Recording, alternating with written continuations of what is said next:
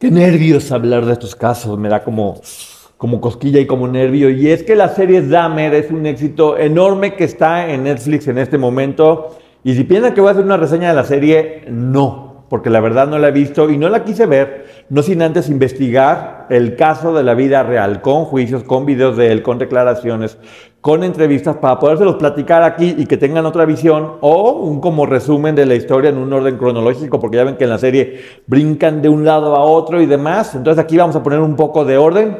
Y eso sí, sé que el tema es muy sensible y muy complicado, entonces voy a intentar hacerlo un poquito más ligero. No es que me, no es que me ría o que me burle de lo, trágico que es y lo indiscutiblemente triste, pero tampoco quiero ser tan, tan, tan duro. Voy a intentar ser lo más amigable que pueda si es que se puede, con este personaje.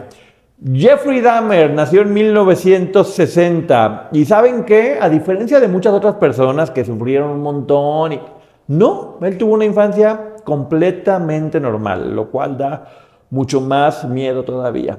Empezó a crecer todo bien, sus papás lo querían, lo trataba bien, no es que lo golpearan, no es que abusaran, nada, él una vida tranquila, normal, jugaba con sus amiguitos, hasta que un día dijo, oye, ¿y qué tal si de repente mato animalitos y armo sus huesitos y empiezo a ver qué tienen por dentro? Porque mientras unos jugaban con carritos y con juguetes y a las escondidas, él decía, qué padre un hígado, ah, una tripa, uy, no, la vesícula, qué, qué bonita vesícula. Le empezó a encantar todo eso desde los nueve años justamente y empezaba a investigar también mucho sobre los humanos que tenían por dentro todo el organismo. Y bueno, todo el mundo hubiera dicho, mi hijo va a ser doctor seguramente.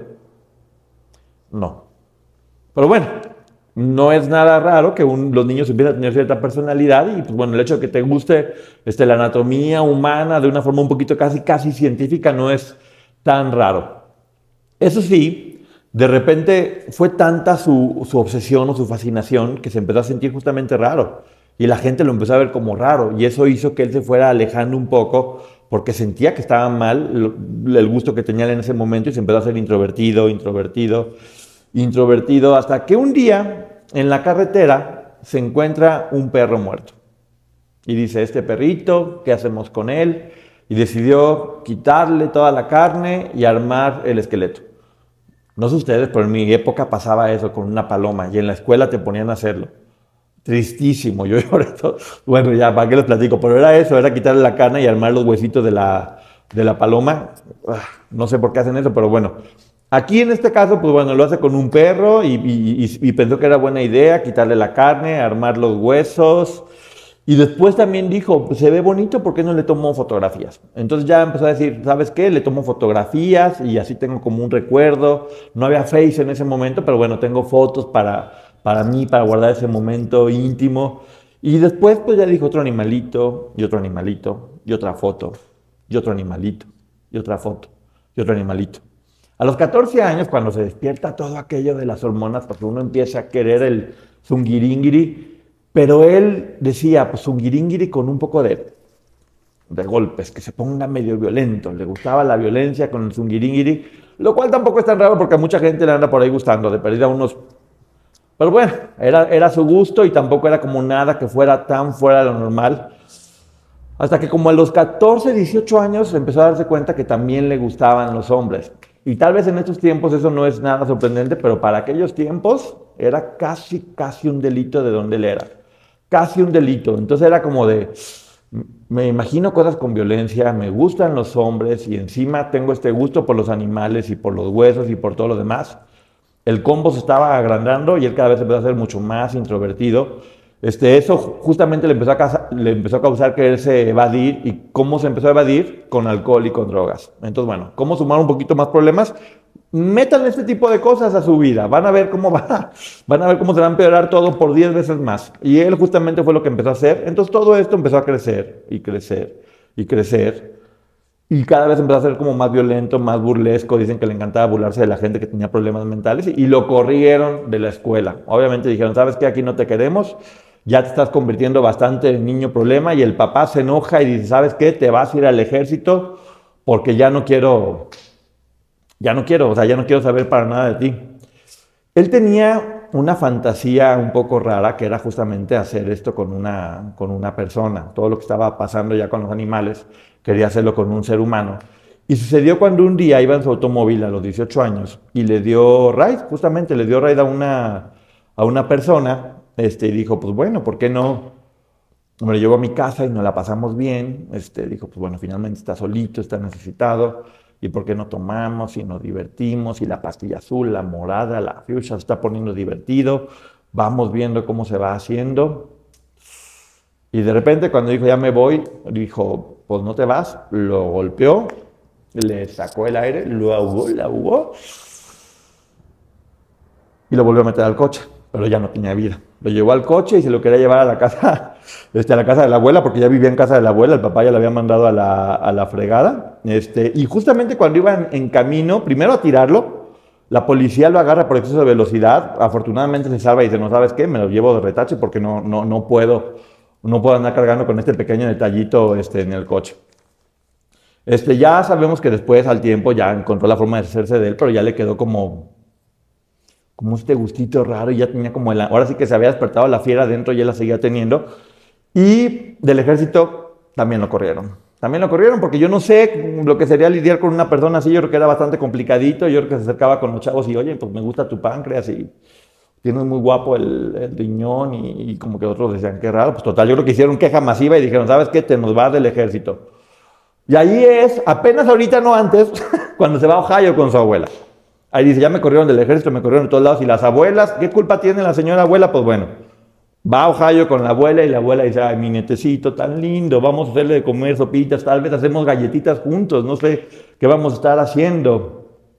Y él de repente dijo, bueno, me gustó la idea de la, de la sumisión, entonces, ¿por qué no este, me compro un maniquí?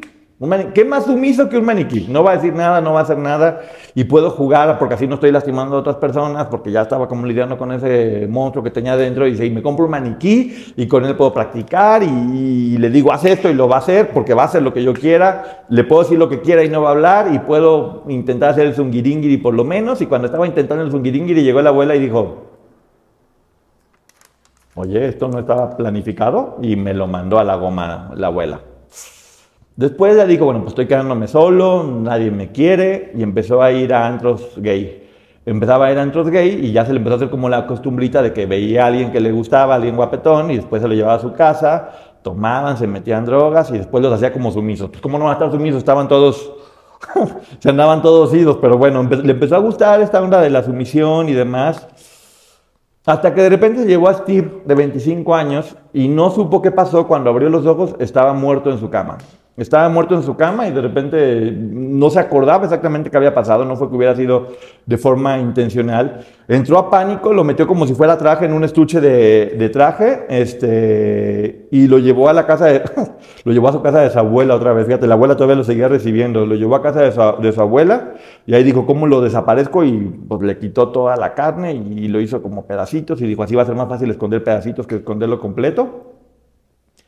Y ya le había gustado, o sea, eso ya le había gustado y dijo, esto está mal. Y lo peor y lo más feo del caso es que empezó con víctimas de muy corta edad, como una, persona de 14 años al cual le había pagado porque le puliera el Oscar, por decirlo de alguna manera, y lo mató. Después vino Richard. Después vino otro niño de 13 años, pero él logró escapar, escapó por completo de, de, de él y justamente este, fue arrestado por eso. Fue arrestado, pero nada más, como si una persona de esa edad llega y te dice que le quisieron hacer eso, nada más lo arrestan y no lo dejan en la cárcel toda su vida. Pero bueno, que Estados Unidos sus leyes muy justas, aquí yo no entiendo absolutamente nada. Después, su quinta víctima fue un afroamericano de 28 años, pero pues ya, ya no le causaba tanta sensación. Entonces dijo, déjame momifico sus genitales y su cabeza. Sí, unos gustos muy, muy raros. Después vinieron 13 personas más, para no ser 13 personas más, ya después decía, bueno, este, ¿qué más hago? ¿Qué más hago? Estaba aburrido, no había Netflix, no había celular, no había redes sociales, entonces, pues les taladro la cabeza a todos. Se agarraba taladrándoles la cabeza mientras estaban vivos y después les echaba ácido y fue la forma en que se deshacía de ellos. La verdad es que es increíble hablar de esto y no sentir que, que tiembla uno hasta el uyuyuy y todo lo demás Un niño normal, ¿en qué momento llegó a este punto? Pero bueno, este, ya después le gustó lo de las ciencias ocultas y llamar al Ramalama y todas estas cosas, y, porque esto fue lo que más me sorprendió. Porque su entrevista, ¿por qué creen que, que acudió a las ciencias ocultas? Porque quería encontrar el amor. Así es, en el fondo tenía una princesa de Disney que quería ser amado y quería ser querido, lo cual me hace dudar un poco de que no había tenido como vacíos este, sentimentales en su vida, pero bueno, él quería tener el amor y también el dinero, obviamente. Decía, pues quiero dinero este, y no quiero, no hacer nada. Lo que casi todo el mundo quiere, pero pues este compadre tenía una forma rara de hacerlo. Después pasó con otra persona, otro niño de 14 años, un adolescente de 14 años, y este, este también logró escapar. Los jovencitos se le escapaban, se le escapó por completo, llegó a ir a la policía y cuando la policía llegó a reclamarle con, el chavito, él dijo, no, pues es que era, es mi amante, este, y nos llevamos bien y todo. Pero como menor de edad y dice que era su amante y la policía, ah, no, pues bueno, si son amantes no hay problema, no pasa nada, yo no me meto en ese tipo de relaciones, puede usted seguir con él. La policía se va y le da crán al niño. Y luego nos quejamos de las autoridades de aquí, vean nomás lo que hacían en Estados Unidos en aquel tiempo. O sea, menores de edad, 14 años, estaba poniendo una denuncia y como la persona adulta dice, ¿sabes que tenemos una relación? Lo dejan. Finísimas personas. Después, ya como que no sabía dónde dejar los cuerpos y dijo, pues los dejo todos en mi casa. Y ya tenía ahí un cuerpo por aquí, otro cuerpo por allá, tengo uno de colchón, tengo uno al lado del lavado. O sea, empezó a tener varios cuerpos y ya olía muy mal. Si uno no se baña dos días y ya huele mal, pues imagínense nada más con tantos cuerpos, tantos días, estaba muy cañón. Entonces dice, ¿qué hago con todo esto? Me los como. Me los como porque así ahorro, no tengo que gastar dinero y capaz la carne está muy cara. Y empezó a comérselos. Los cocinaba, le quedaban bien, este, sashimi, al mojo.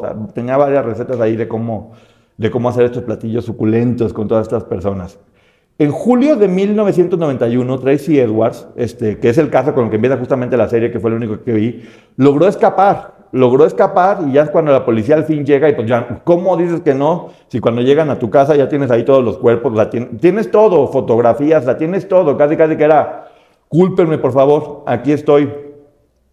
Pues sí, confesó todos sus crímenes, todos, 17 crímenes. Y lo atraparon después de 17 para que vean también la efectividad de la policía en aquel momento. Y decía que justamente se, los comía, pero también tenía relaciones con ellos mientras estaban muertos. Este, finísima persona. Lo meten a la cárcel y se vuelve religioso. Así es, encuentra paz, encuentra el espíritu, siente que es un ser iluminado, decía que comía carne porque quería ser como ellos de alguna otra manera. Pero en 1994 llegó la horma de zapato y un compañero agarró cuchillo y dijo, mijo, sashimi y me lo mandó a otra tierra, a otra vida. Este compadre ya le estaba dando por hacer cosas muy raras, hacía trofeos con, hacía trofeos con los cuerpos. Este, y, y, yo lo que más me llegó a sorprender es cómo un niño aparentemente normal, que fue querido por sus papás y que tenía una educación bien, empezó a convertirse en este momento. Yo no sé si a lo mejor fue o, sí, o un problema psiquiátrico ya desde el principio que no se detectó a tiempo, que yo creo que sí hubiera tenido chispazos desde el principio, o simplemente una forma diferente de, hacerlo sentir culpable por una afición o un gusto que tenía que lo hizo sentir culpable, la sociedad, no sé qué fue exactamente lo que hizo porque hay varios casos y cada uno peor que el otro. El, el, hecho es que esta serie está causando muchísima fascinación, ahora sí la voy a ver, porque le digo, no quise influenciarme. Vi varias entrevistas con este hombre y en, realidad la tranquilidad con, la que narra los acontecimientos, porque hizo como más de 159 páginas donde platicaba con lujo de detalles que hizo con cada una de las personas y lo, y lo recordaba. Hay que poner mucha atención en, toda la, en todos los niños, especialmente en los adolescentes, en qué están haciendo, porque creo que este caso es importante saberlo, porque sí nos puede dar pistas de ayuda para que, para que haya una alarma y podamos seguir viendo. ¿Qué les pareció? Si les gustó este caso, díganme y vamos a poder seguir investigando más casos de este tipo para poder ver estos personajes tan, tan truculentos que están haciendo. Ahora sí voy a ver la serie, dicen que está buenísima y no me voy a quedar con las ganas de verla completita. Así que nos vemos en la próxima cápsula. Síganme en mis redes sociales, Twitter arroba Ponchote, Instagram Ponchote Martínez y TikTok Ponchote. Muchas gracias por sus aportaciones para el micrófono del amor. Aquí quiero ver lluvias de dinero. Diosito Santo, qué difícil caso, pero bueno, vamos a pensar que este hombre No sé, es que no, díganme qué piensan ustedes. ¿Las personas nacen malas o se van volviendo malas durante va pasando su vida? Pónganme todos sus comentarios de lo que opinan aquí abajo, por favor, se lo suplico. Que Dios les bendiga el uyuyuy y que les funcione siempre. Gracias, beso, bye.